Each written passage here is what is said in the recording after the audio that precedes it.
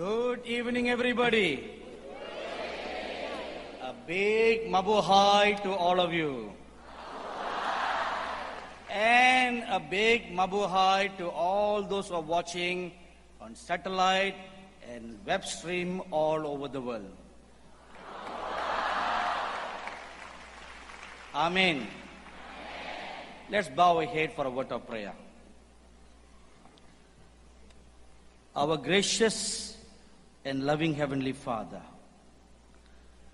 once again we come before your holy presence in the name of our Lord Jesus Christ this evening.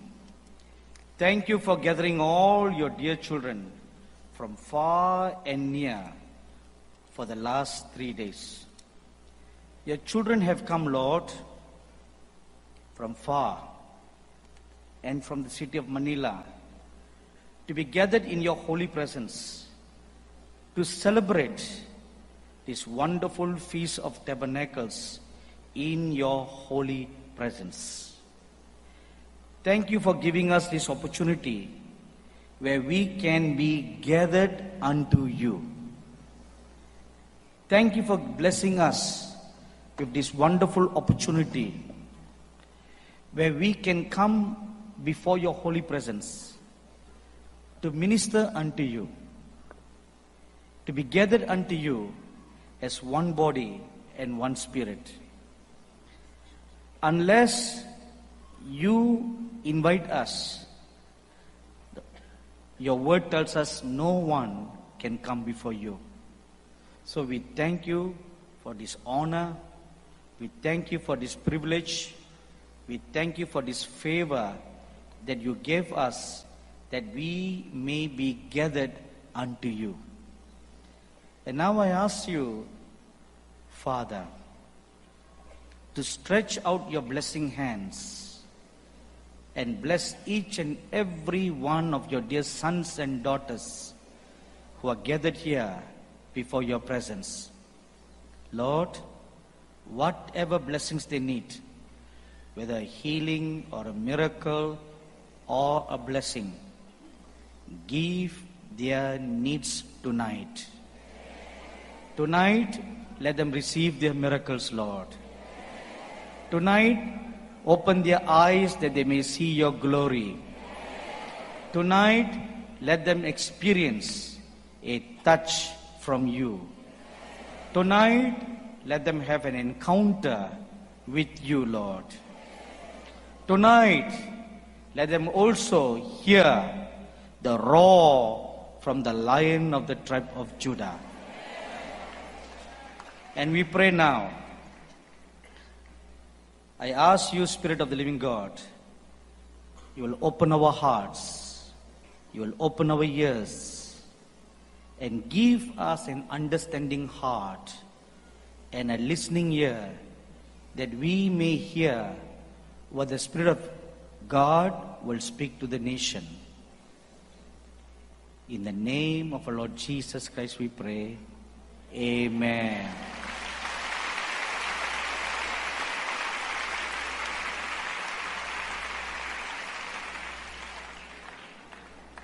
I don't have one for be seated. Please be seated.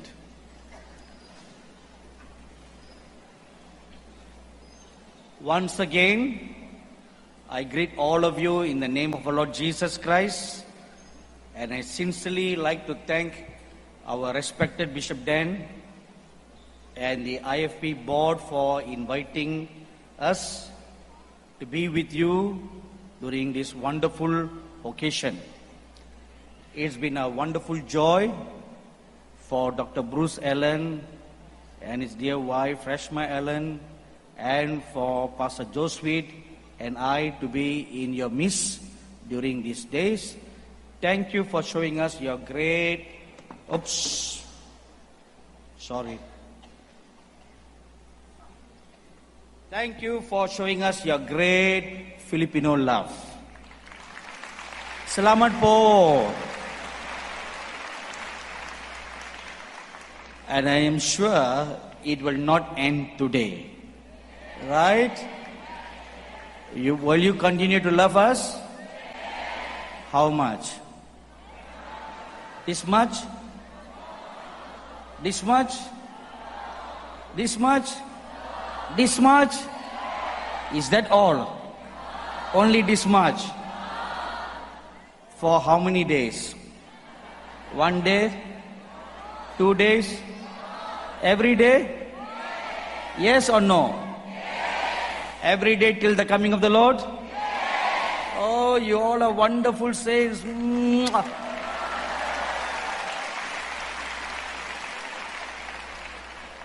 I wish I can take all of you back to Chennai. Will you come? Yes, but my suitcase is not big enough to put all of you there. It's all right. After you all get trained, then you all come as missionaries to India. Amen.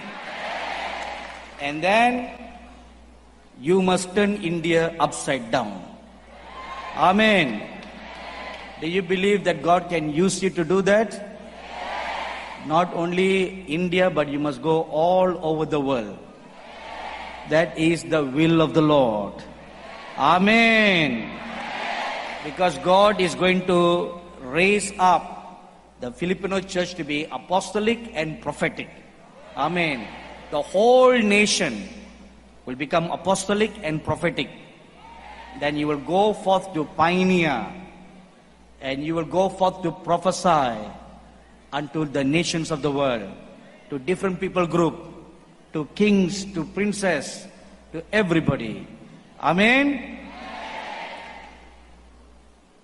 Now, this is a wonderful days of festive joy, and during this period, I've been sharing with you about the encounters I had with the chief prince angel of the Philippines on the 17th of October while I was praying in my hotel room. I had this visitation from this angel with outstretched wings and he stood before me and he identified himself as the chief prince angel of the Philippines. And then he said these words Prepare the nation for revival. Prepare the nation for a visitation of God. Teach their young to war in the heavenlies. Although these words were specifically spoken to me, but it also is applicable to every pastor, every bishop, every minister of God in this nation. Which means the word of the Lord that comes to you as a leader is prepare the nation for revival. Prepare the nation for a visitation of God. And teach your young, the youths, how to war in the heavenlies. Our war is not with flesh and blood, but with principalities, with powers in the air. So you need to war in the heavenlies because that time has come now.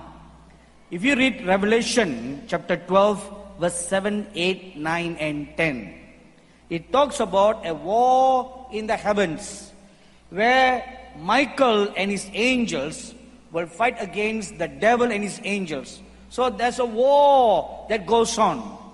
And verse 10 tells us the remnant church on this earth has a part to play in the war. So they both join hands together for the last day's war in the heavenlies. And for the angels of God to win over the war in the heavenlies, the remnant church on the earth must participate together. Let me give you an example. In Exodus chapter 17, Israel goes to war with Ai in the valley of Rephidim. And God told the prophet Moses to go up on a mount and he is to lift up his hands while Joshua and his army are fighting the war. So Aaron and Hur goes up together with Moses up on a mount and Moses lifts up his hands and the war goes on. And Joshua and the Israelite army were winning the war. But you know, when you put up your hands, after some time you'll get tired. So you'll tend to lower down your hand. That is why most Christians today, foreseeing the tightness of their hands, they always lift up their hands halfway. Amen. So you know why put up when you get tired? Instead of lowering it down, you are already well prepared. You are very, very wise. So you put it halfway.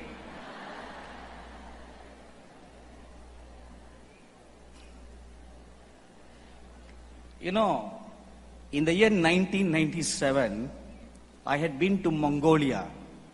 And this one particular church, while the worship was going on, I saw one woman, young woman. She never lifted up her hands. While everybody else were lifting up their hands, this is the only woman, she just keep her hands straight like a wood by her side. And um, Every now and then she will try to, you know, like throw up her hands and uh, then she would stretch straight.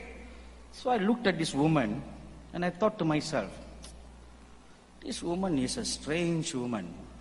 Everybody, not a single other person, had put their hands down. They all, everyone, young and old, lifted up their hands in worship except this woman. So I thought, okay, this woman is just like many Indians, no, lazy, who don't want to put up their hands. So I just thought like that. Uh, every now and then I would glance at the woman, but she never lifted up her hands. But occasionally she will just like try to put up her hand. And I used to wonder why she's trying to do that when she can just jolly well put up her hands like this. Right? Jolly well and jolly be. Amen.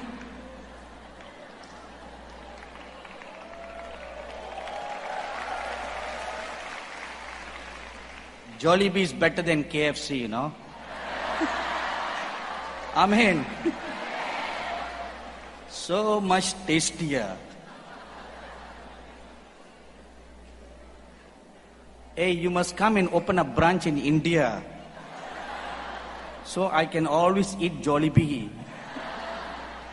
Anyway, and after the meeting was over, then I asked the pastor a question.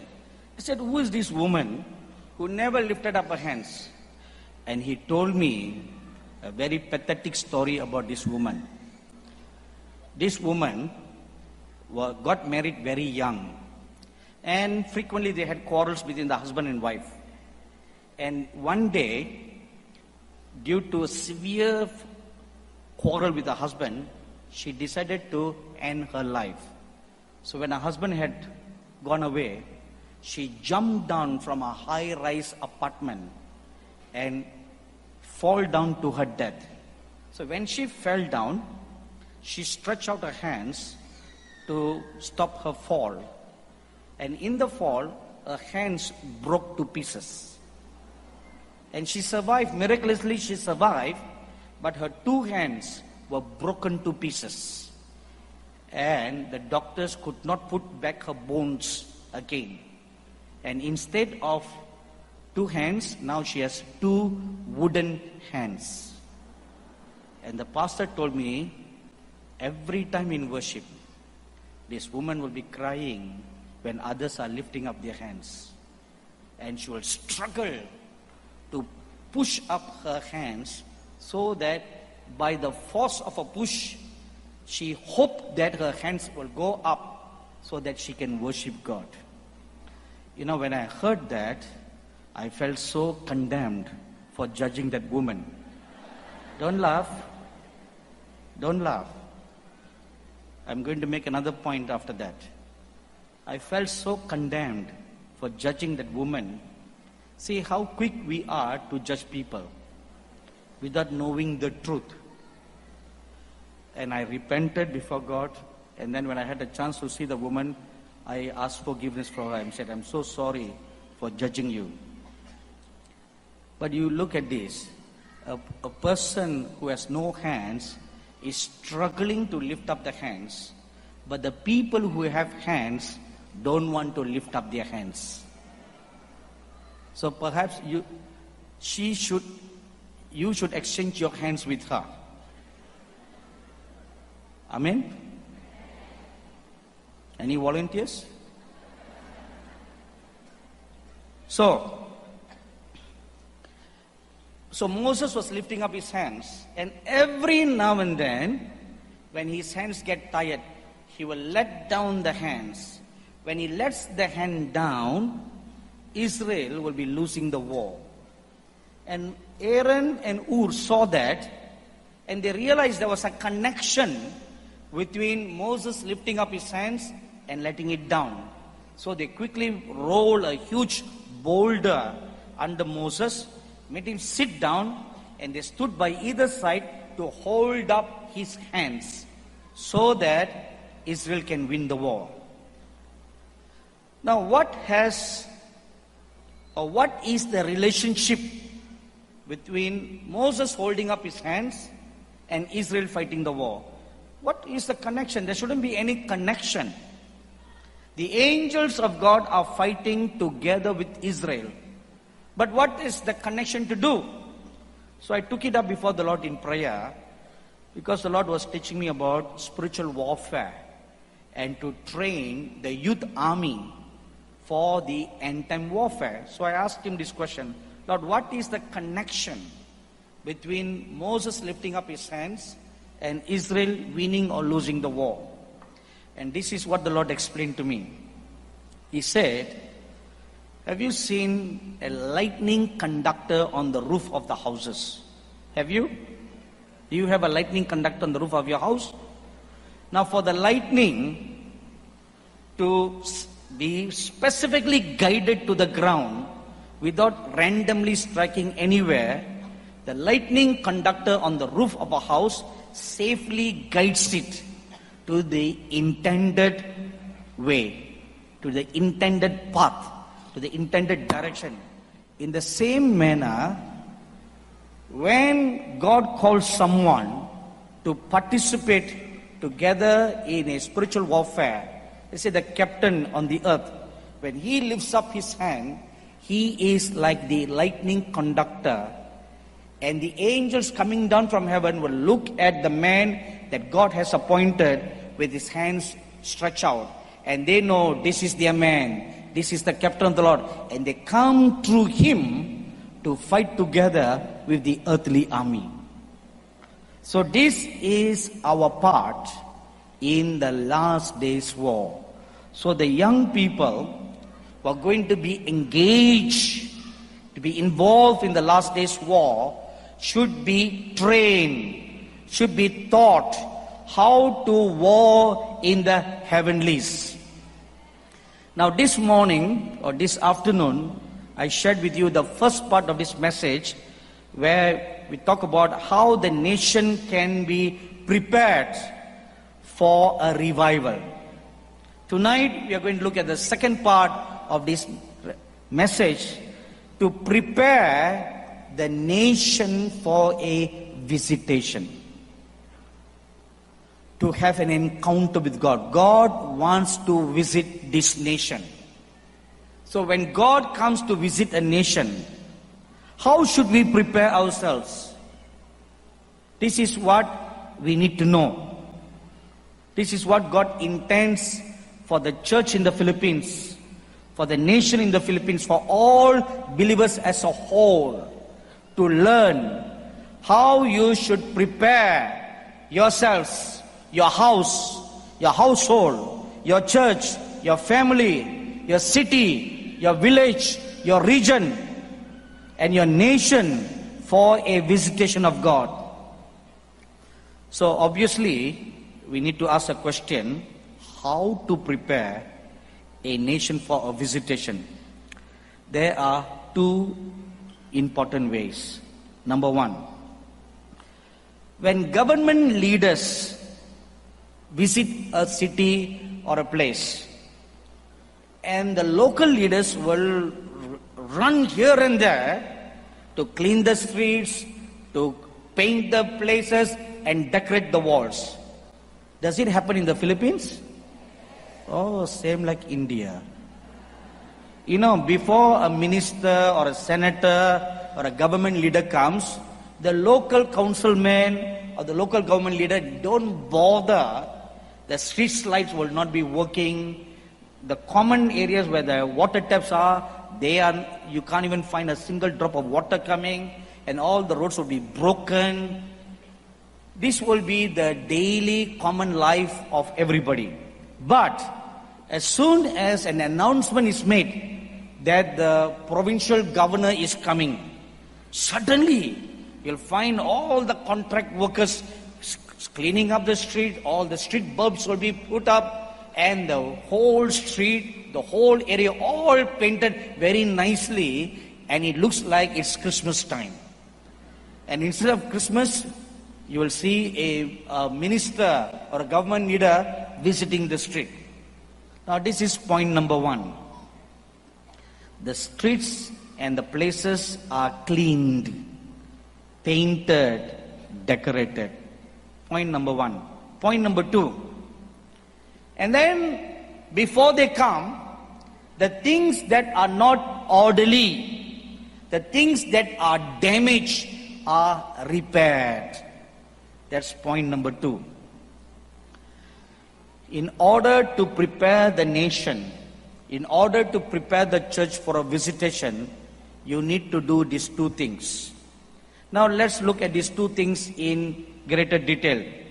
Streets clean, painted, decorated. What do they mean? Let's look at Exodus chapter 19, verses 9 to 11 for an example. And the Lord said to Moses, Behold, I come to you in the thick cloud, that the people may hear when I speak with you and believe you forever. So Moses told the words of the people to the Lord. Then the Lord said to Moses, Go to the people and consecrate them today and tomorrow and let them wash their clothes. Let them be ready for the third day for on the third day, the Lord will come down upon Mount Sinai in the sight of all the people. So the Lord told Moses, I am going to come down. I am going to visit the people. The people are going to see my glory. Before that can happen, the Lord told Moses three things to do. He must prepare the people with three things. Number one, he says, sanctify them. Number two, ask them to wash their clothes. And number three, husbands and wives should abstain from sexual relationship for three days. They should be separated, they should be clean. These are the three things God told Moses to prepare the people to receive a habitation or a visitation from God. Now, what applied to the people of Israel in the natural. Now we are going to look at it from the spiritual point of view. How does it apply to us under the new covenant? Number one, to sanctify means to fast and pray, which means you are going to establish a regular disciplined life of fasting and prayer. You know, in the first century, when the New Testament church was born, there was a daily or a weekly disciplinary practice in the church to fast every Wednesday and every Fridays. Twice a week, the early church fasted. That was their custom, that was a practice. Now, this does not mean we are becoming very legalistic. This does not mean we are very religious minded. No. This is self discipline. This is self control. This is crucifying the flesh. This is bringing your body under subjection. If you read Matthew chapter 17, after the transfiguration experience, when the Lord Jesus came down from the mount, there was a commotion at the bottom of the mountain. A father brought his demon possessed son to the remaining disciples who didn't go up on the mount and asked them to cast out this demon, and the disciples could not cast out the demon. So the father cooked up a big commotion and he complained to the Lord Jesus that his disciples could not cast out the demons. And the Lord Jesus looked at the little boy or young boy who was demon possessed. He cast out the demon and the boy was healed. And after that, the disciples asked the Lord Jesus a question, why could we not do it? And the Lord Jesus answered them, this kind does not go out but by prayer and fasting. So, the disciples could not cast out because of their lack of faith. And in order to overcome this lack of faith, the Lord Jesus told them, you need to build a life of prayer and fasting. The very fact that the Lord Jesus could do that, it also means he himself was fasting and praying. That is why he could cast out the demons. So, the number one discipline that we need today, which is a great lack in our Christian life and in our church practice, is a lifestyle of fasting and praying. You know, most of the time we only fast and pray when we are in a crisis, when we are in a danger. Then we proclaim a fast. Then we fall on our face. And you don't even have to fast because when you're so weighed down by your problems, you lose all appetite to eat.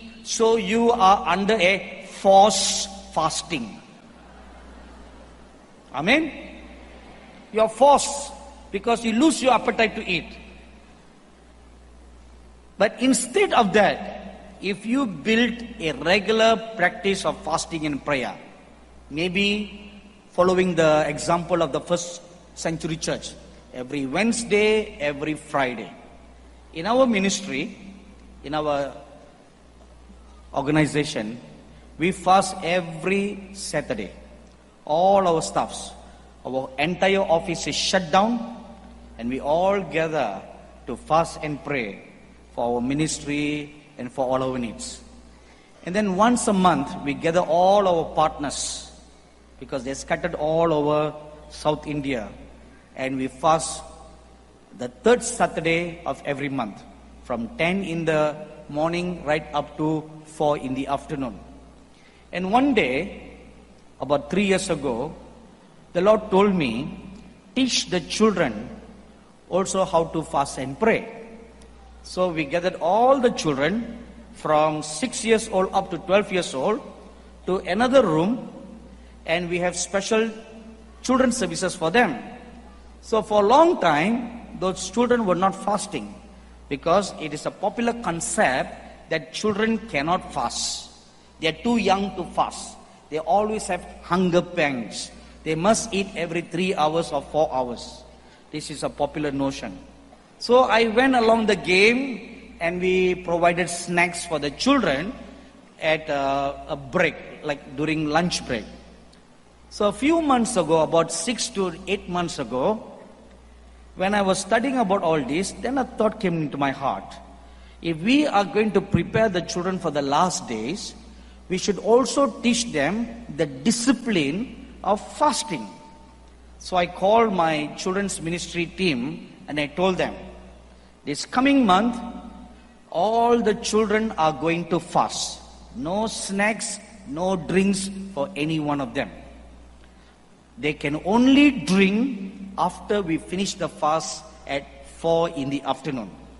So my staffs, they protested.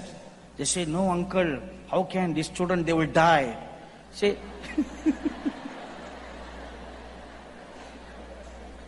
So I told them, don't worry, if they die, bring them to me. I will resurrect them. Amen. What are we here for, right? To resurrect the dead. Amen. Oh, then they said, oh, they may not die, but they may faint. So don't worry, if they faint, bring them to me. I have bottles of water. I will sprinkle the water on their faces, and they all, all get up.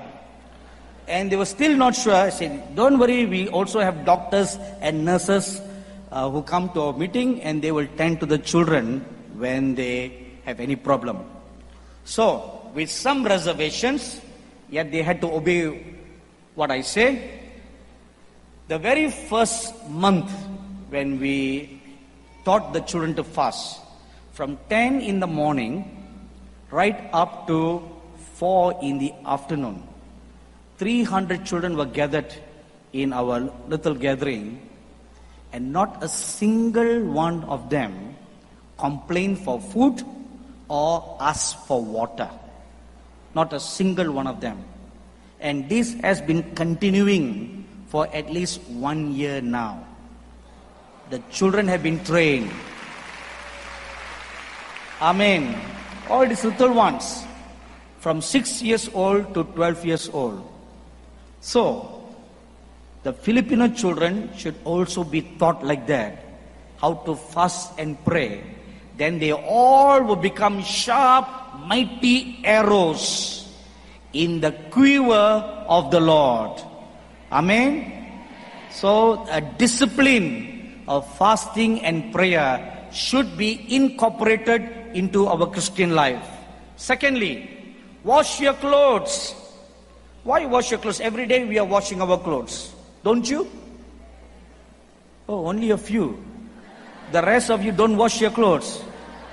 My, my, my, my. You are just like the Tibetan people. The Tibetan people wash their clothes only once a year. Amen. So you are like the Tibetans? Only once a year? You don't wash every day. Or at least two days once. You don't.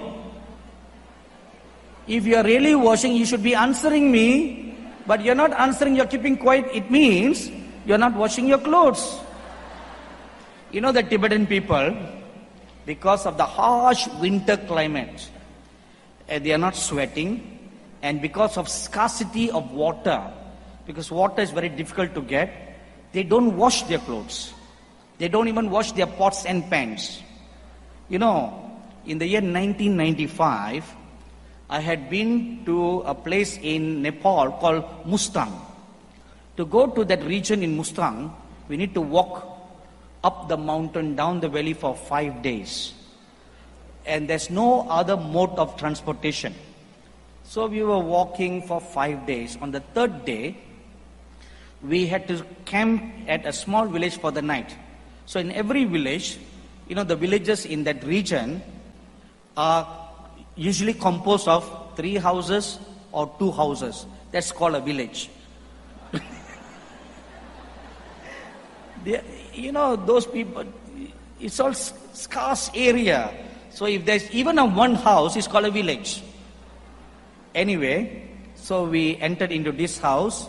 It is also like a lodge where passing visitors can pay for a bed and for food and sleep there for the night. So we paid for the bed and we paid for the food. And there were, besides my two associates and I, there were another two Tibetan visitors who were also passing by. So the house owner was cooking food. So since the other two guests came first, they were served food first. And I observed how this lady was cooking the food. I like to observe how people cook, but I don't know how to cook. You know? So I was uh, saw her how she cooked, and then she served the other Tibetans with food. And after uh, serving them, that you know there were in the whole house there were only five plates. So two plates were used by this guest. So there were three more plates. So I thought, okay, the three more plates were for me and my two associates. And uh, and she cooked more, and then she put food on the plate, and this uh, person, instead of serving to us, they were eating it, eating the food by themselves. So I thought to myself, there's no water nearby. How is this woman going to wash her plate? So I was very curious because there are three plates and three person are eating. So after she finished eating, she took the plate and she licked.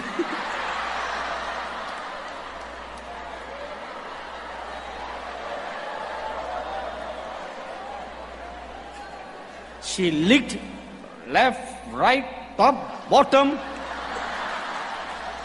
until the whole plate was sparkling clean. And then she put on new food and handed the plate to me.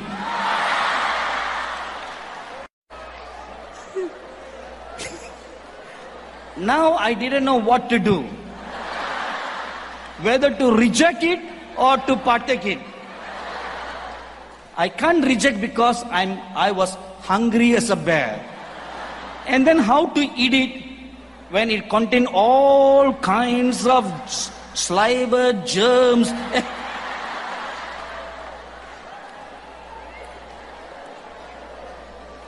I'm not kidding, you know, Scout's honor. So I took up the plate before the hands, before the Lord, said, Lord, thank you for the food. In the name of the Lord Jesus, I pray. The name that is above all name.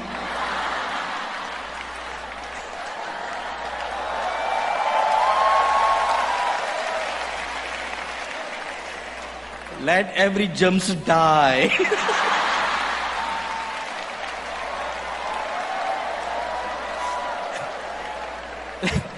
Let this food be health to me. And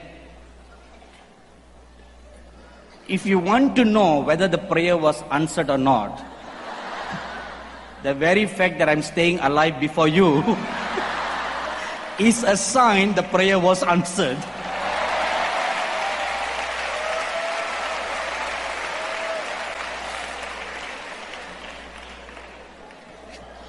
So, have you heard of Sadhu Sundar Singh? I'm sure you have. Okay. So once he went to the eastern part of Tibet to evangelize. And uh, the following day, he took a bath by the river and he washed his robe. And then he sat by the river bank to wait for the clothes to dry so they can put on and go back into the village to preach the gospel. And while he was washing, he suddenly noticed that the entire village had gathered around to see him washing his clothes. And they were all looking with great shock. And uh, then Sadhu Sundar Singh turned around and he looked at this whole village staring at him. And he asked them, Why are you all staring about? They said, Sir, you are washing your clothes.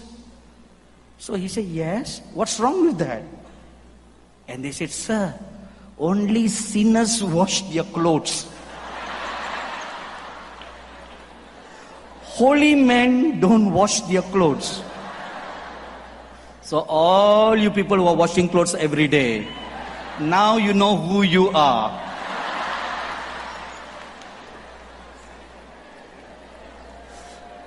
So, if you want to be a saint,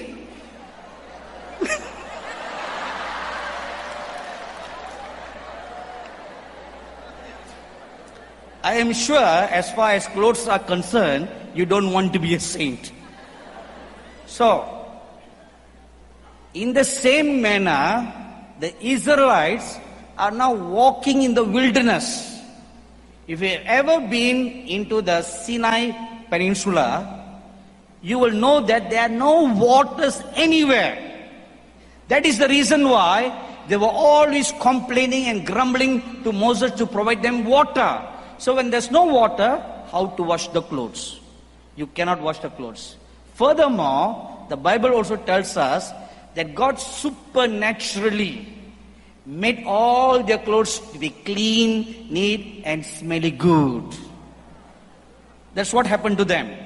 However, on this particular day, the Lord told them, Wash all your clothes, dry them, put on nice clothes, and come and stand before me. Now, what does that mean? What does that mean for us? Analyze your soul for spots of the flesh. You know, the Bible tells us we have been given the garment of salvation and the robe of righteousness when we got saved. Two garments have been given to us from the day you got saved. And it is our duty to make sure those garments are not moth eaten and neither are they soiled or become dirty. So every day you need to analyze yourselves. Each night before you go to bed, don't just suddenly drop to your bed to sleep. Pause for a moment, maybe a 15 minutes. Analyze your heart. Is there any spot on my soul? Is there any uncleanness on my mind? Is there any uncleanness in my soul? If they are, you should be cleansed before you go to bed. You should not sleep with your sins and continue your sins the following day. Jude verse 23 and James chapter 5 verse 2. Number 3. Come not near to your wives. Abstain from sexual relationship. Now what does that mean for us now? A woman in the Bible allegory always signifies flesh, the works of the flesh. So here it means put away the works of the flesh from your life. Galatians chapter 5, verses 17 to 21 talks about the 17 kinds of the works of flesh that in every day in our life we are doing. If you study those few scriptures, out of the 17, you'll find that all of us have at least a few. A few of them.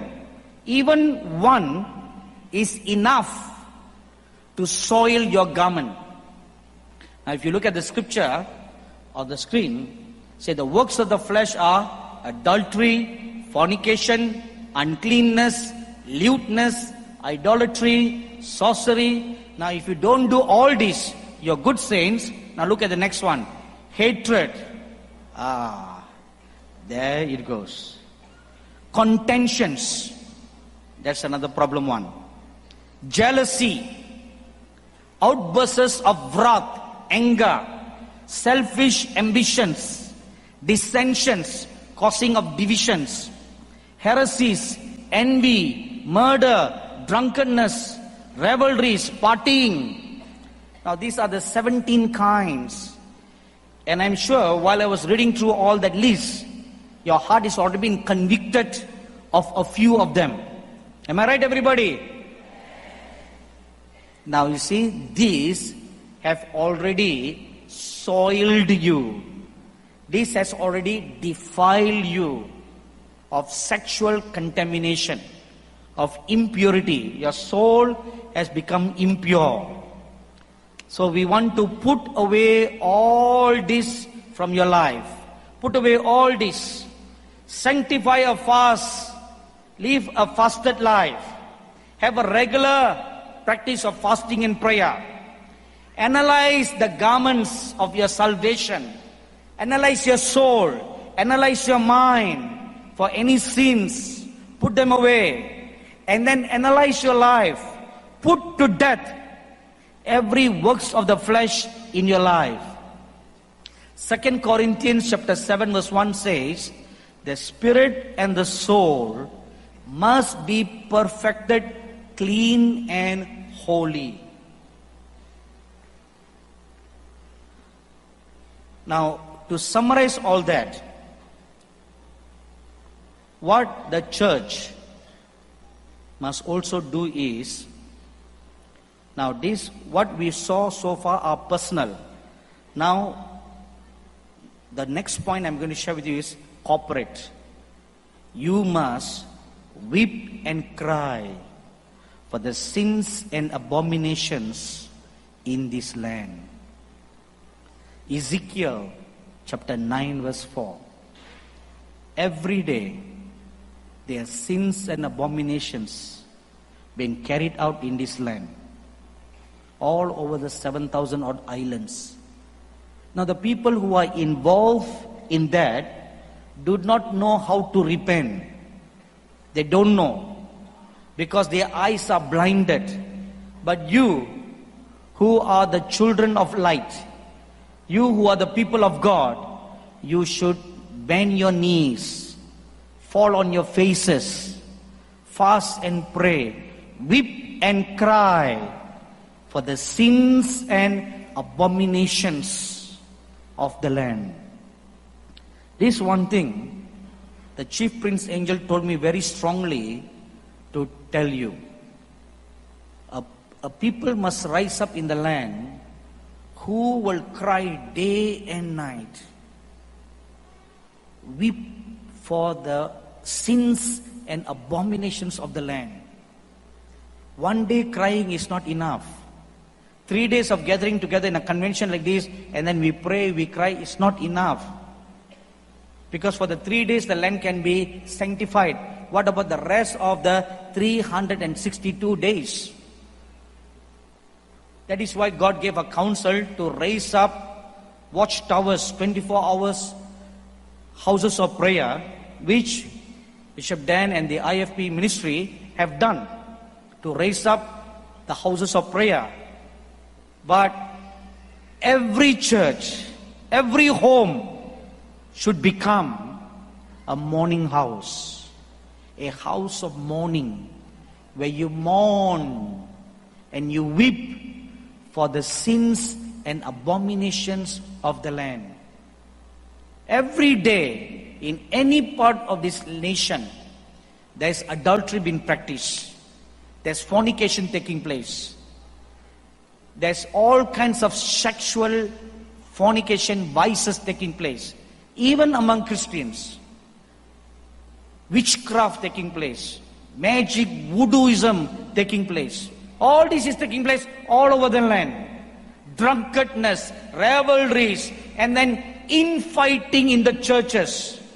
Pastors fighting against one another, church members fighting against one another. All this is taking place all over the land.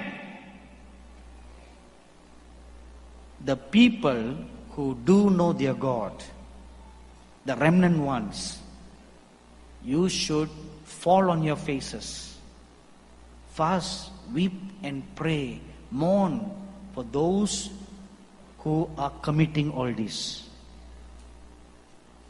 The righteous, they should do that. Next, look at the Levites. In Leviticus chapter 9, verses 1 to 4. Now, this Levites means ministers of God how they should prepare themselves. It came to pass on the eighth day that Moses called Aaron and his sons and the elders of Israel, and he said to Aaron, Take for yourself a young bull as a sin offering and a ram as a burnt offering without blemish, and offer them before the Lord. And to the children of Israel you shall speak, saying, Take a kid of the goats as a sin offering, and a calf and a lamb both of the first year without blemish as a burnt offering, also a bull and a ram as peace offerings to sacrifice before the Lord, and a grain offering mixed with oil, for today the Lord will appear to you.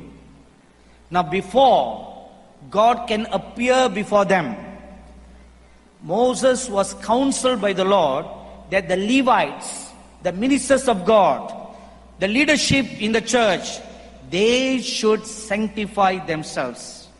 Now you will find four offerings that are mentioned here sin offering, burnt offering, peace offering, and a meal offering. What do they signify?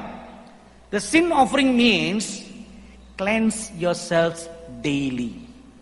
First John chapter 1 verse 9 even a minister of God, those who are in the leadership, we are not immune to sins. Knowingly or unknowingly, we all commit that. So every day to examine our lives and then confess those sins and cleanse ourselves by the blood of the Lamb. Secondly, burnt offering. What is the burnt offering signify? To crucify the works of the flesh.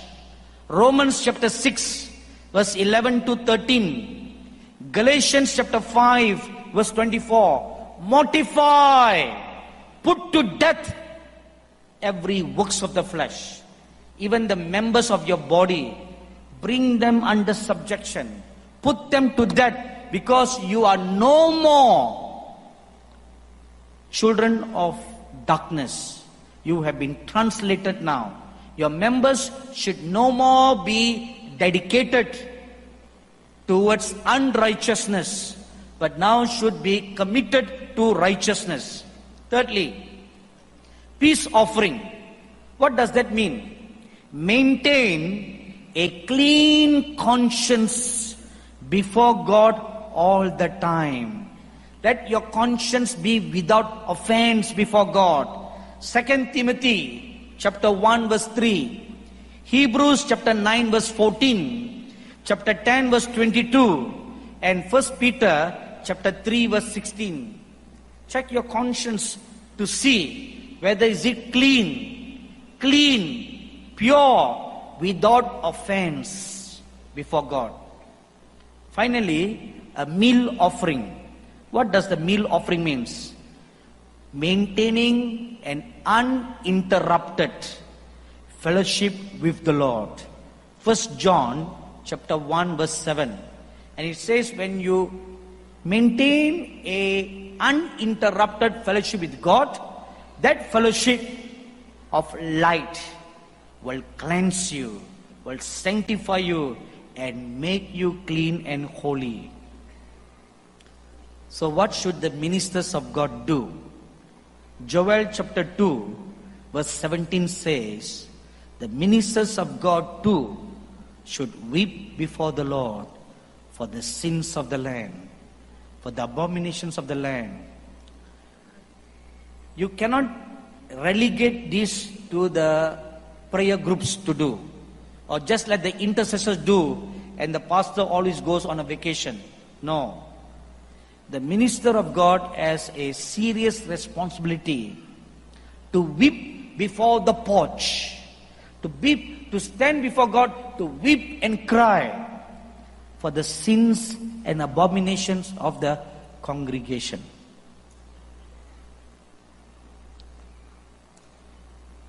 Several years ago, or maybe not, not too many several years ago, just a couple of years ago, after one of my uh, visit back to India after a, a convention in the Philippines, a young Filipino girl wrote to me for prayer.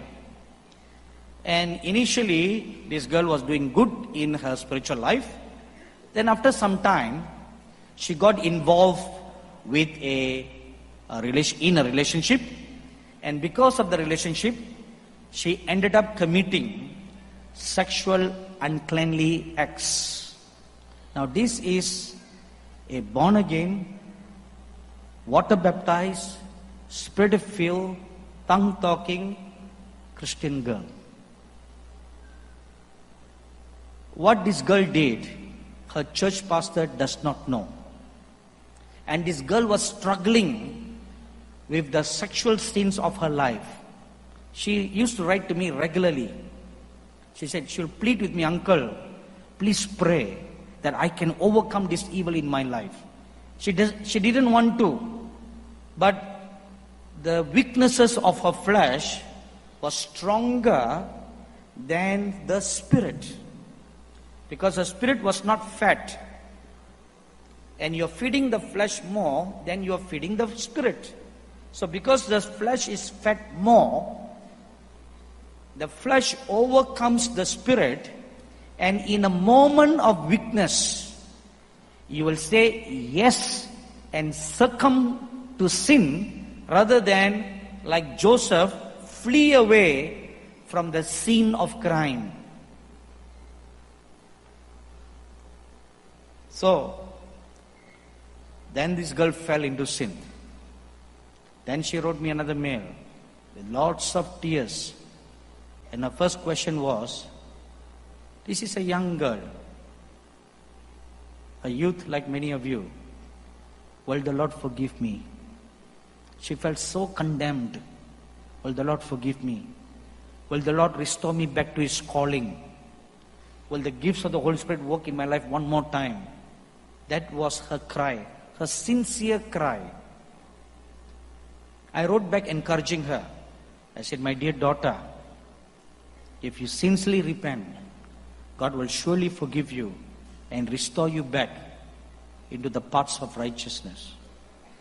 And after that, I never heard from her for the next several years. Till today, never heard from her again. So, uh, the pastor doesn't know these things that are going on in his church. So, the pastor should, a minister should, weep for the sins and abomination in the congregation so that God can visit the church. Secondly, the first is to cleanse.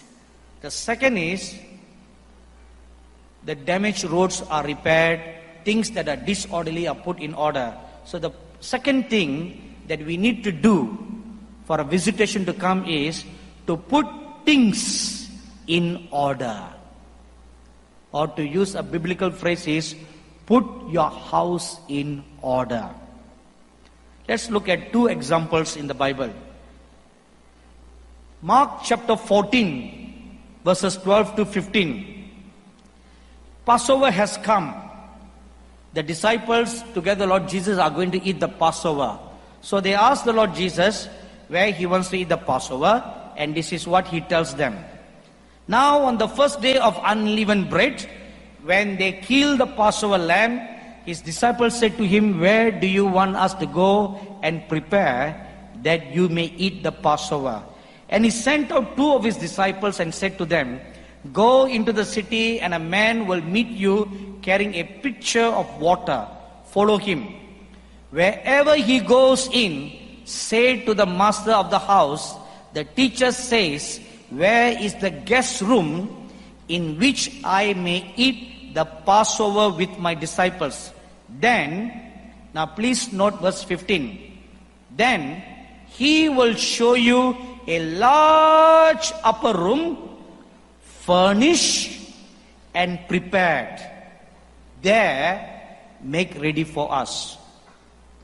Now, the Amplified Bible gives a little bit more depth of this scripture, and let me read to you this scripture from the Amplified Bible. And he will himself show you a large upper room furnished with carpets and with dining couches properly spread and ready there prepare for us. So, what does this signify? Orderliness. Orderliness in the house of God. Orderliness in your life.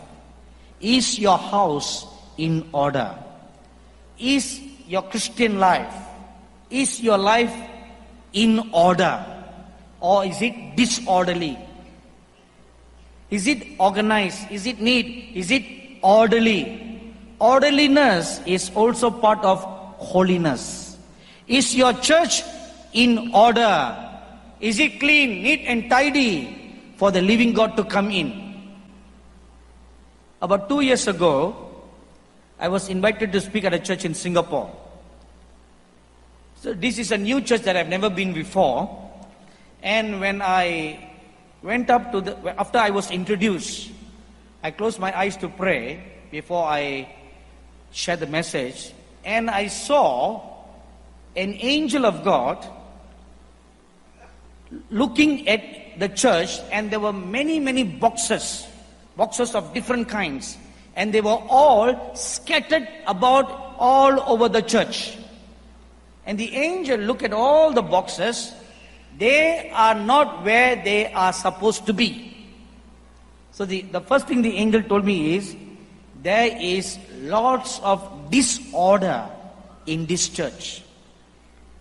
Meaning, people who are called to do works are not functioning in the call, and the church is not in a good order, then the angel remove all the boxes to one corner and he stacked them up by category.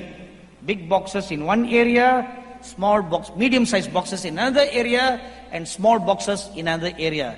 He neatly organized them and put them in order. Then the angel looked at me and pointed a finger at the pastor's wife and told me, Does she know what is her calling? She is doing things that she's not supposed to do. See, that is also disorder. When a person who is called to be a pastor, instead of being a pastor, if he becomes an evangelist, that is disorder. A person is called as an evangelist, instead of becoming an evangelist, you become a pastor. That is disorder. So, is there orderliness in your life? Are you where you are supposed to be? Or are you flirting from church to church? This is another very popular thing today. You don't like this church, you migrate to another church. You don't like that church, you migrate to another church.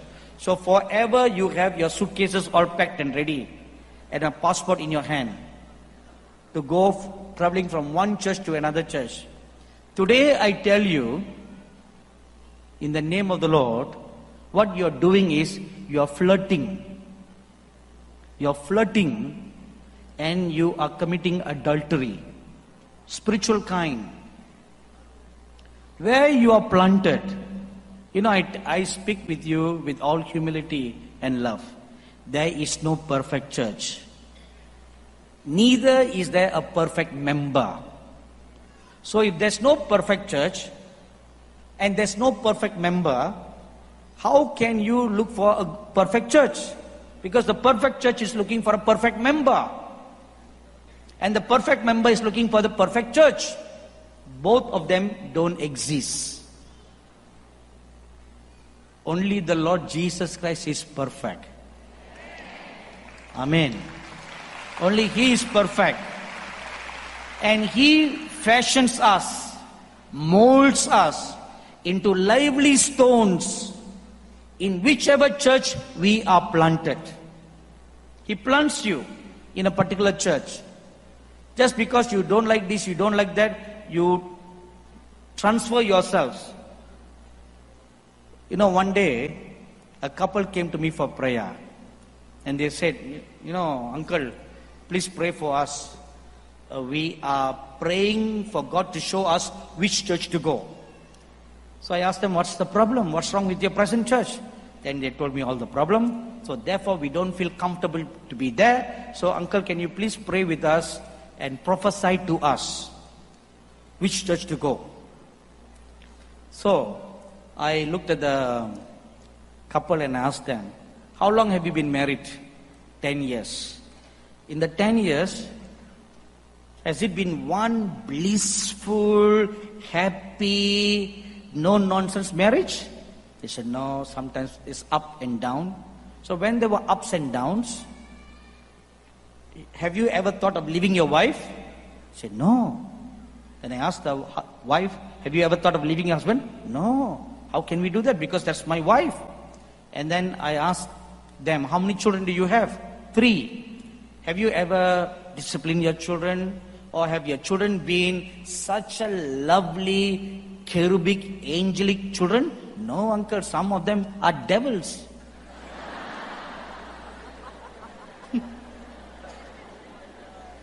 If there is one angel, there are two devils in the house. So I said, okay, since there are two devils in the house, have you ever thought of chopping those two devils and throwing them out of the house? Uncle, how can you say that? They are our children. So I said, if you won't do all that, why are you jumping church? That which is your flesh, you put up with your flesh. You tolerate your flesh in spite of their weaknesses and shortcomings. You should not jump church. You should only leave church when your pastor gets out of the will of God, or he's no more walking right before God, or he's talking, preaching wrong doctrines. Then leave. Other than that, just because he didn't greet you, didn't call you, didn't shake your hands, these are silly reasons to leave the church, which many people leave the church for such silly reasons. Amen? Am I right? My pastor never visited me, I leave the church. My pastor never called me, I didn't come to church. He never called to inquire about me. You know, to you, he's one pastor. But to your pastor, you are one of a hundred believers. How is he going to attend to everybody? Anyway, orderliness in the church. Now, look at the sacrifice that Elijah prepared in 1 Kings chapter 18, verse 33. The Bible very beautifully says that, and he put the wood in order and cut the bullock in pieces and laid it on the wood and said, Fill four barrels with water and pour it on the burnt sacrifice and on the wood. Now look at the script, first part. He put the wood in order. When he cut the wood, he laid them in proper order on the altar. And then he cut the bull to equal pieces and laid them in an orderly fashion on the wood. Before the fire of God came down to consume the sacrifice. Put your house in order. Is your house in order or is it disorderly? Second example Matthew chapter 21, verses 12 to 14. The Lord Jesus Christ, when he entered into the temple in Jerusalem, he cleansed the temple. Then Jesus went into the temple of God and drove out all those who bought and sold in the temple and overturned the tables of the money changers and the seats of those who sold doves. And he said to them, It is written, My house shall be called a house of prayer, but you have made it a den of thieves.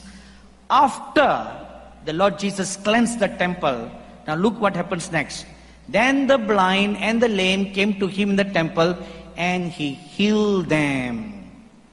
For the God of glory to come and visit your church, visit your nations, first cleanse your temple. Cleanse the temple, cleanse your church of everything that defiles.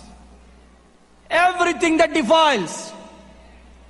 The people who defile may be the largest tithes in your church, maybe the largest offering givers. And if you do not discipline them or put them away for fear that you will lose your finances, it wouldn't take long for God to curse your church that it will dry up. You know, your faith should not be on this rich man who tithes. Your faith should be on Jehovah Jireh. Amen. It is Jehovah Jireh who called you, not these church members. One member may come today, another member can go today. They can come, they can go. But Jehovah Jireh is with you all the time. All the time. So cleanse the temple. Put away the things that are disorderly. The next thing, the third thing that is required for to prepare ourselves for a visitation of God is unity in worship. That's the third thing. Now look at Second Chronicles chapter 5 verses 12 to 14. The Bible tells us all the musicians and all the singers and all the trumpeters were one. They were united. Means every singer was singing in the same key. All hearts were united together. All the musicians, their hearts were united together with the chief musician or the choir master. Their hearts and their minds were all united together. They were not thinking, Ayo, it's getting late. When will the choir master finish the song? I need to go. Or you may be thinking, Ayo, it's getting late. It's already four minutes to nine. When is the speaker going to stop? Are you thinking like that? I'm just halfway through. So we'll go on for another one hour. Is it okay, everybody? After all, today is the last day. Right? The musicians and the singers and the trumpeters should be one. Every person in the congregation must unite their heart together with oneness with the musicians. When that happens, the Bible says in Second Chronicles chapter 5 verse 14, so that the priests, or look at verse 13, Indeed, it came to pass when the trumpeters and the singers were as one, to make one sound to be heard in praising and thanking the Lord. And when they lifted up their voice with the trumpets and cymbals and instruments of music and praised the Lord, saying, For he is good, for his mercy endures forever, that the house, the house of the Lord was filled with a cloud, so that the priests could not continue ministering because of the cloud, for the glory of the Lord filled the house of God. Now, when we all, every single person in this astrodome, when you unite your hearts with oneness, together with the musicians, together with the singers, when we all sing with one heart, with one voice, then the thick cloud of God's glory will visibly come down in our midst. If this can happen in the Old Testament, this should happen more in the New Testament because of the blood of Jesus Christ. Because now a door has been opened for us to enter into the holies. If we can all enter into the holies and see God, then we should bring back the glory of God. But we hardly see this in the New Testament church because all our hearts are divided. The singers are divided. The musicians are divided. We are not making one voice. In the last days, God is going to pour a new spirit of praise and worship into the church. A new anointing is going to come where instead of singing self centered churches, I mean, self centered songs that do not magnify or glorify or praise God, they don't. If you look at most of the songs that we sing in our churches, they are more self centered, bless me songs. There's no praise, there's no glory, there's not magnifying the name of the Almighty God. But God is now going to pour a new anointing where the musician's ears will be open to hear sound from heaven. Where the singer's ears will be open to hear songs sung by angels in heaven. And they will hear the songs. The choir master, spiritual eyes will be open, translated to heaven to see the heavenly choir singing and worshiping God. And you will hear the songs and you will write those songs and bring them back to earth and teach the congregation to sing the songs that are sung in heaven. Amen. When you do that, then the glory that is in heaven will come down in our midst. Amen. So for God to pour this new wine, then the old wine skin must first be broken, be torn, and become a new wineskin. Secondly, another anointing God is going to pour. This anointing is going to be poured upon the children. Now, look at Matthew chapter 21, verse 15 and 16, together with Mark chapter 11, verse 9 and 10. But for our reading, let's look at Matthew 21, verses 15 and 16. But when the chief priests and scribes saw the wonderful things that he did, and the children crying out in the temple. Now, the mothers, when they came together with the Lord Jesus Christ into Jerusalem, they were carrying their babies and they were dragging their toddlers into the temple. And all the babies and all the toddlers were crying loud, just like most children and toddlers do. Now, the Pharisees and the Sadducees, as well as all the other people, heard the cries of the babies. But do you know how God saw that? Now look at the verse 15. The babies, the children were crying in the temple, saying, Hosanna to the son of David. How can, you know, logically, the children are crying, but how can they be saying, Hosanna to the son of David? In fact, if you read Mark chapter 11, verse 9 and 10, they were singing, Hosanna to the son of David, and blessed be he who comes in the name of the Lord, and blessed be the kingdom of God that comes now. They were singing songs of the coming kingdom of God. These are little children. And the Pharisees were so indignant and they scolded the children and they rebuked the Lord and they said, Lord, don't you hear all these things? And the Lord Jesus said, Yes, I've seen all this, but have you not ever heard? And he quoted Psalms 8 2. Out of the mouth of babes and nursings, infants, you have perfected praise. Or another translation says, you have ordained strength, which means in the last days, God is going to pour a new anointing upon the babies from zero age up to three years old.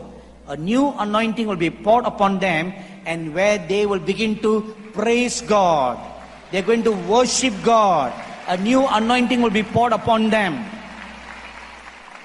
And when they do, that praise, that worship will give them strength to cast out demons. Can you believe that? A newborn baby will cast out demons. Three years ago, while we were having our monthly fasting prayer, an angel of the Lord appeared before me and he read from a scroll. He said, God is calling you to do a new training program for little children because their time has now come for Psalms 8.2 to be fulfilled. So after this angel revealed this to me, I shared a message based on all that. And there was a mother from a different city in outside Chennai called Bangalore. And she had a one year old or newborn baby. She has a uh, eight year old daughter and a one year old baby. And she heard the message. She went back home and something happened. A year later, a servant girl, one of her distant relative, came to work for her. And little did they know that the servant girl was a demon possessed girl. In the nights, when everybody is sleeping, every pots and pans in the kitchen will fly like playing basketball. They'll all fly everywhere. And in the morning, when the woman of the house come, she'll find all the pots and pans in all over the kitchen. And the milk will be spilled over, everything will, will go topsy-turvy. So they didn't know what was the problem. This went on for several days. Then one day, the, the woman found out that her niece, who, the 13 year old niece who comes to work for them, is demon possessed. And in the night, she used to walk around the house with a knife, long 12 inch knife, at, into every bedroom. Can you imagine you have a niece like that when you all are fast asleep and she walks around your bedroom with a knife in the hand? And I don't think you can sleep peacefully. So this woman didn't know what to do. She can't chase away the girl because she's a relative. So one day, one morning, after her son, who's now one and a half years old, was awake, she carried the boy down from the second floor to the kitchen to make him some milk. At that moment, this niece came out of the kitchen with the feeding bottle in her hand. And this little boy looked at this, his cousin. He just stretched his hands and in his baby language just laughed at her. At that instant, the woman, the aunt, her spiritual eyes were open and she saw a black, dark demon spirit come out of the girl and depart out of the house. This one and a half year old toddler cast out a demon spirit. When the woman saw that, she was shocked because she knew that as soon as her son put up the hand and laughed, the demon left. And as she was pondering what is happening, she remembered the message that I preached that in the last days, Psalms 8 2 will be fulfilled and the children, little babies and thoughtless will cast out demons. Then she came to our meeting and she gave publicly this testimony for all people to hear. My dearly beloved brothers and sisters, this is how you can prepare for a visitation. In closing, let me share this with you.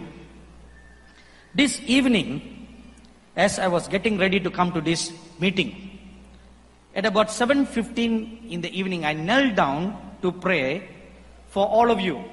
So I prayed that the Lord will touch all of you powerfully today and heal all the sick people today. As I was praying, suddenly I heard the Lord roaring very mightily, and this is what he said. From what you read in 1 Kings chapter 16, 17, and 18, the Lord Jesus spoke of four things. Number one,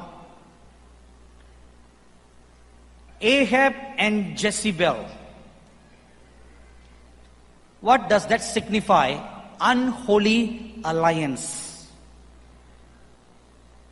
An unholy alliance between a believer and a non believer,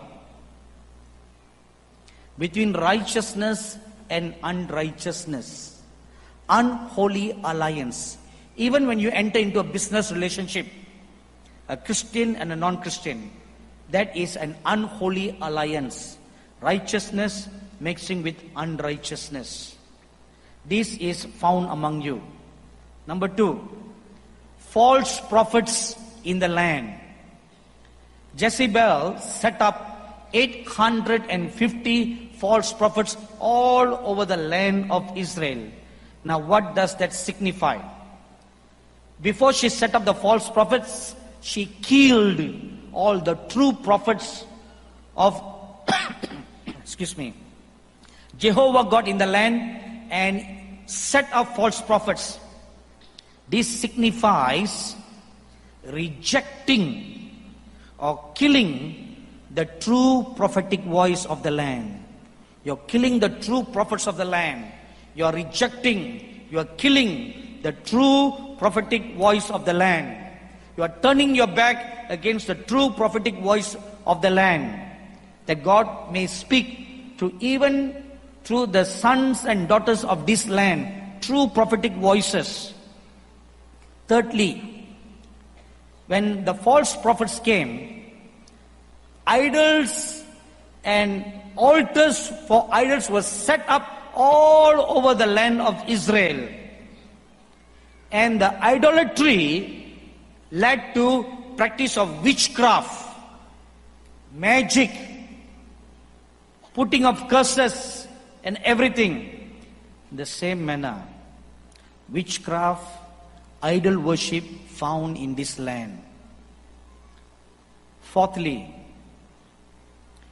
when King Ahab married Jezebel, because of him, or even the time when he ascended the throne, the Bible says he was the worst of all the kings of Israel, and he made the nation of Israel to turn her back against God. A nation in backsliding. The people of God backslidden from Him. You have turned your back against Him. Four things. These four things are the sins and abominations that the Lord finds in this land. Can I have a handheld, handheld mic?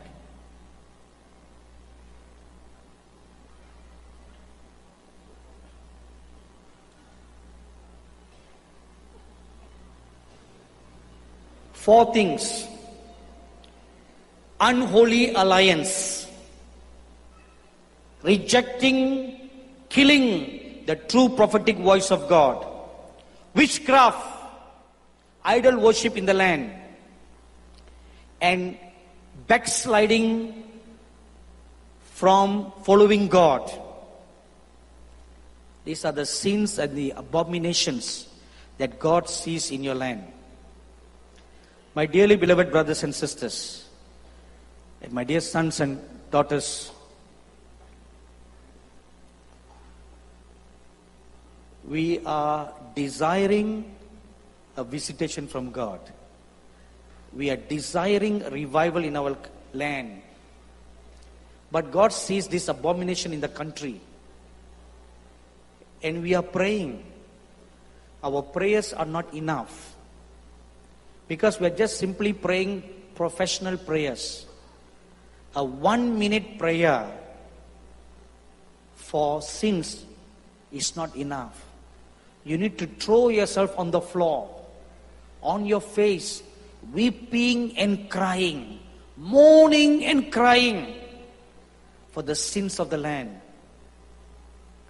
You may be righteous, your church may be righteous, but there is still sin in the land. There is still abomination in the land. Am I right, everybody? Unless and until the sins and abomination are get rid of in the land, then the glory of God cannot come down. If you read 1 Kings chapter 18, before fire came down from heaven, Elijah, when he constructed the altar, it signifies he was standing, he was bending his knees, standing in the gap, interceding before God for the sins of Israel. He repented.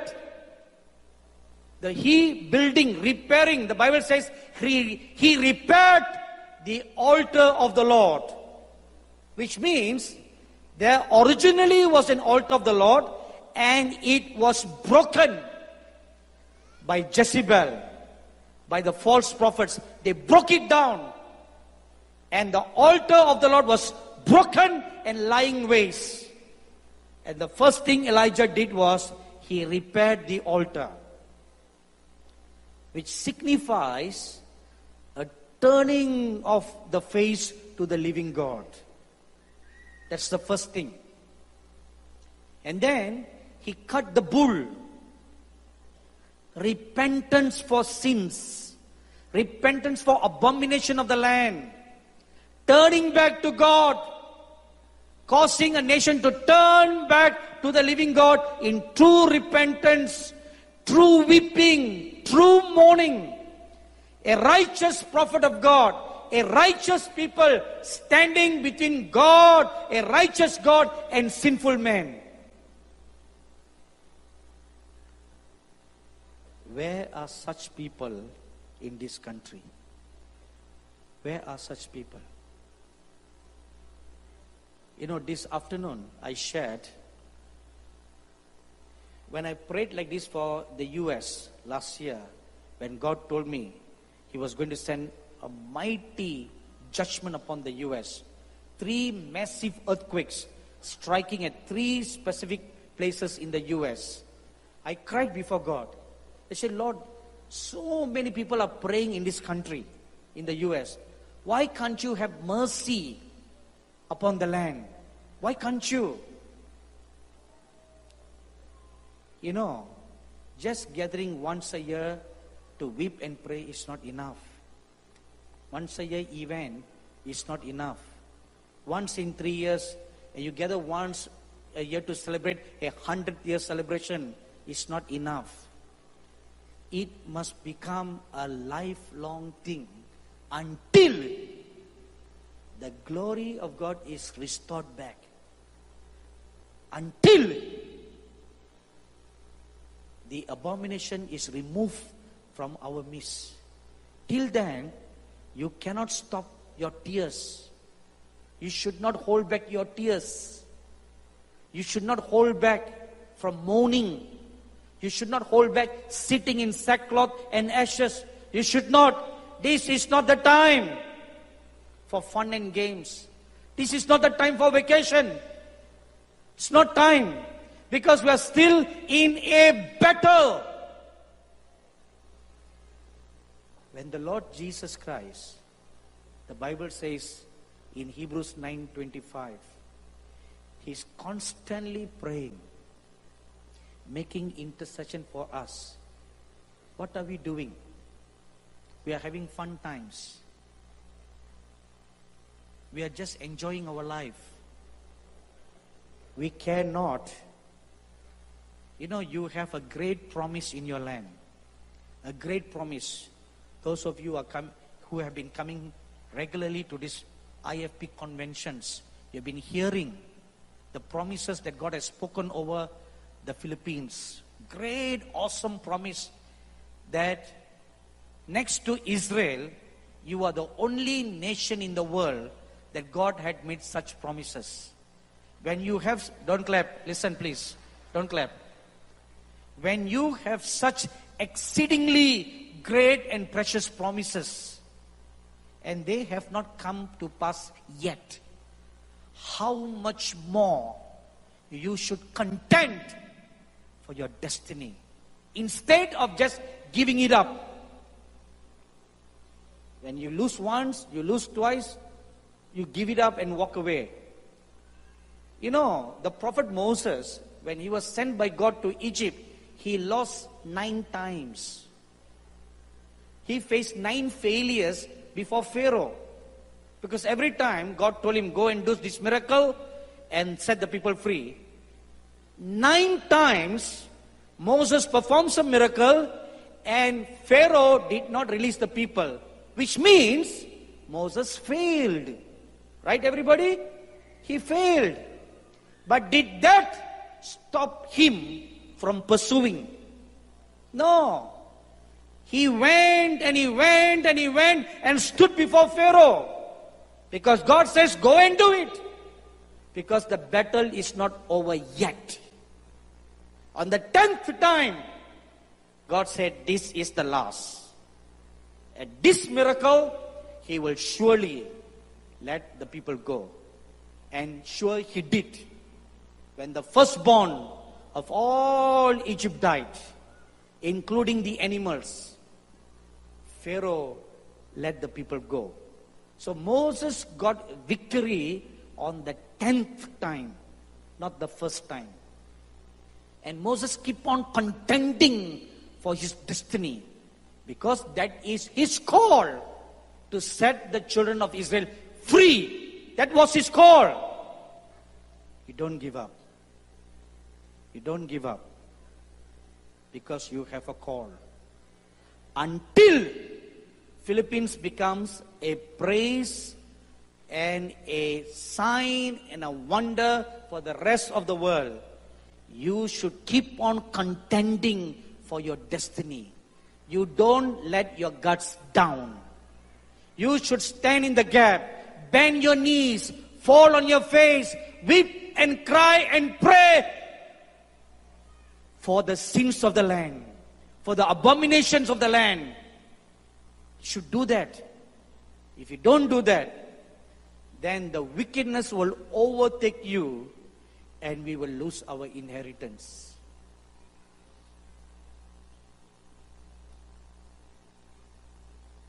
You know, God promised if you turn back from all your wicked sins, He will not even allow a single natural disaster to come to your country. We just had one super typhoon that came. Although its power was lessened, still it came. It should not come. But why is all these typhoons, floodings, and earthquakes coming? Because of the sins and uh, of the abominations in this land. We must uproot them. Don't let them remain in your land. Uproot all the false prophets from your country. Uproot all idol worship from your country. Uproot every false religion. Uproot everyone who is a false believer. Uproot every false apostle, false prophets, false pastor, false teacher. Uproot them and sanctify the land. Purify the land for a mighty visitation of the glory of God. Amen. Let's all stand up for a word of prayer.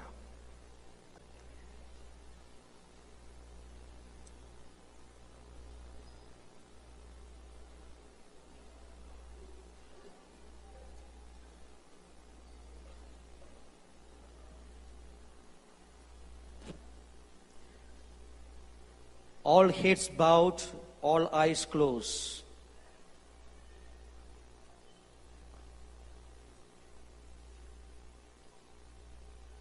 You heard how God sees. How are you going to respond now? What are you going to say? Are you going to say, Here I am, Lord? I will stand in the gap. I'm going to weep and mourn until every wickedness is uprooted from our country.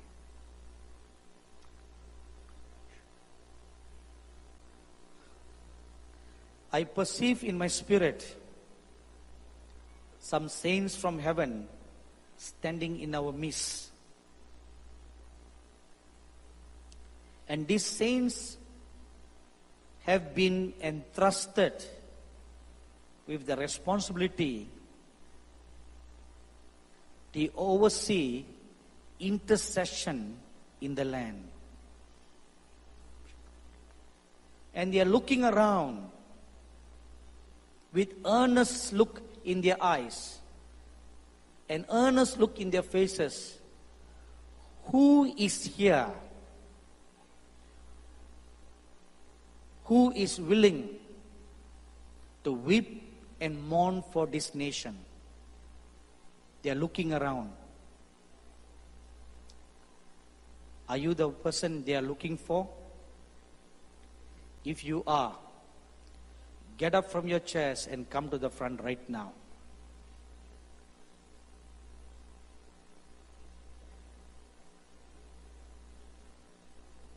If you don't mean it, don't come. You will seriously stand in the gap.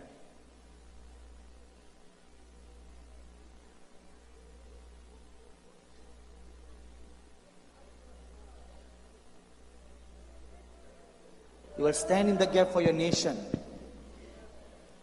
You will weep and pray. Are you the person? Are you the person?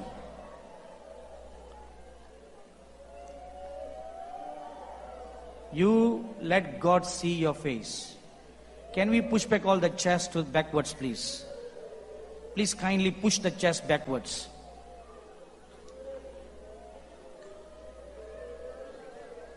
Are you the person?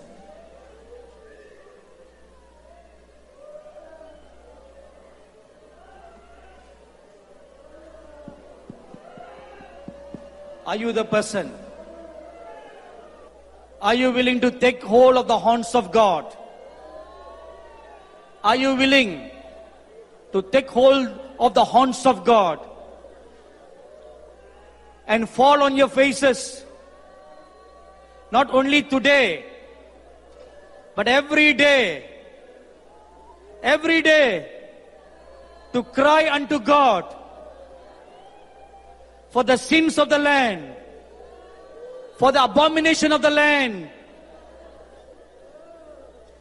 so that your intercessions, your weepings, your tears will uproot every wickedness in the land, every abomination in the land. Are you the person? Are you the person? Please kindly push back all the chairs to the backwards. Please, please push back all the chairs.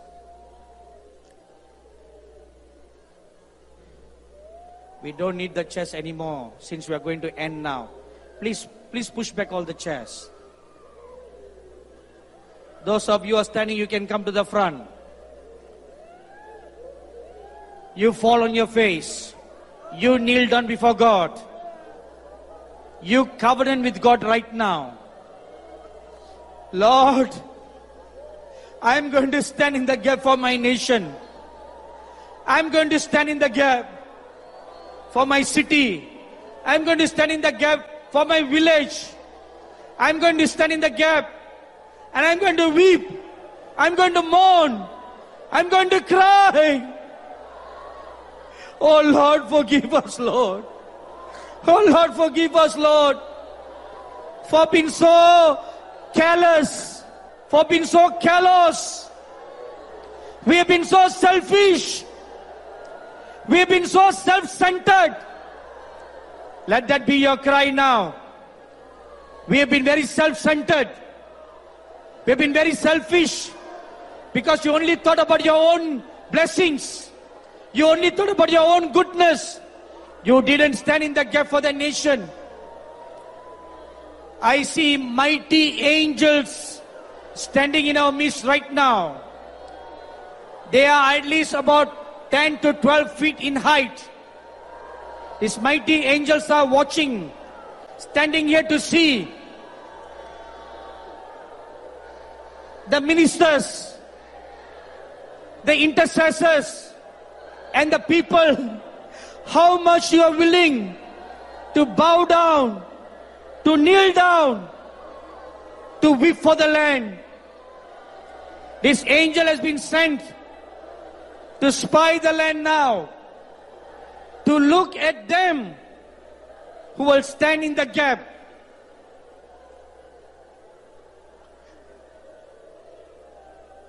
This angel now says to me, Son of man, Tell these people that those who weep and mourn, those who stay before the porches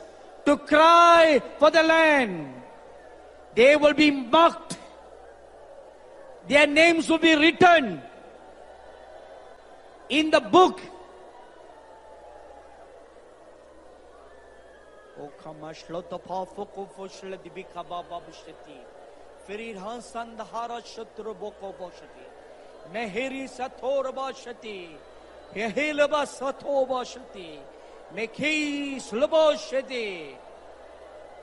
I see this angel taking a small bag from his right pocket and his, it has got some kind of a liquid.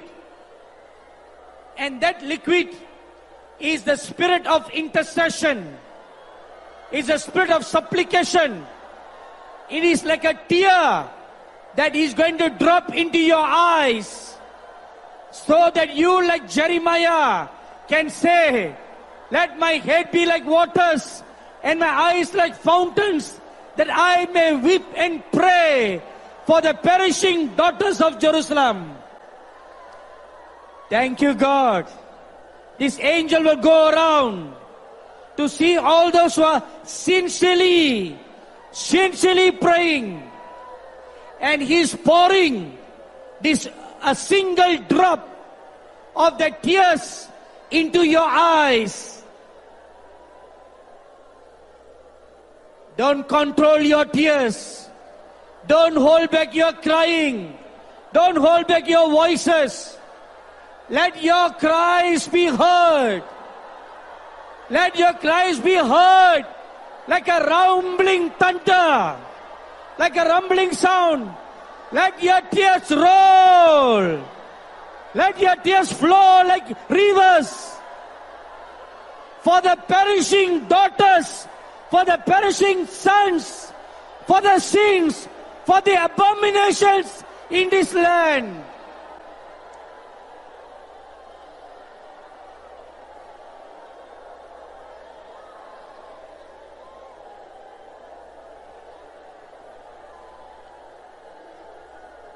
One more time, I'm hearing this angel saying, just like he said during the anniversary celebration of CLSF, raise up a prayer watch exclusively for your president. Stand guard, intercede for him day and night. A prayer watch should be raised up. A prayer watch should be set up to pray for your president continuously that the evil influences, witchcraft influences, black magic influences will not surround him, but they will be broken so that the angels of God can go and minister to him and speak through him. Thank you, God. Thank you, God. I see many, many saints coming down in our midst right now. All those who are sincerely weeping, all those who are receiving those tears from the angels. These saints are going to work together with you. They are going to pray together with you. They are going to intercede together with you. They are going to help you to intercede for the land. They're going to help you to weep and mourn for this land. Oh.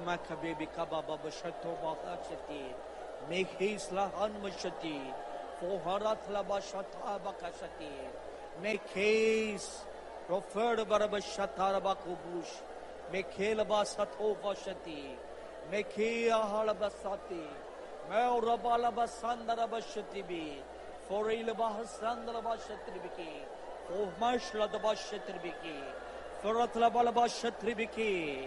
Oh Lord Jesus. Oh Lord Jesus. Spirit of the living God. Whoever is worthy. Whoever has found favor in your eyes. Whoever has poured their hearts and their spirits to weep and pray. I pray the angel will pour these tears into their eyes. And when they receive the tears, let them tangibly feel a drop of the heavenly tears, the spirit of supplication, the spirit of intercession,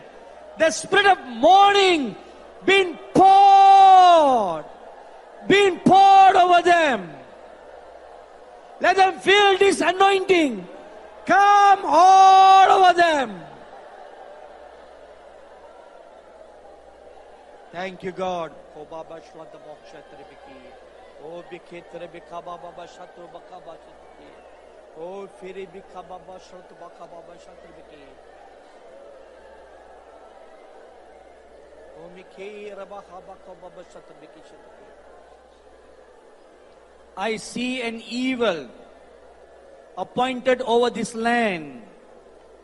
that it's slowly going to stretch its right hand and its right leg to grasp your nation and to spew the dragon stretching out its right hand and left hand forward to lay and put its claws into this nation that she may spew a kind of a dark cloud, dark fumes to come over the land. This evil has been appointed